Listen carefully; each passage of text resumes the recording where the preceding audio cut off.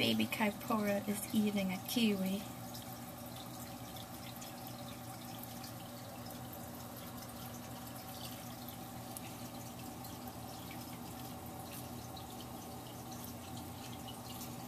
What a cutie.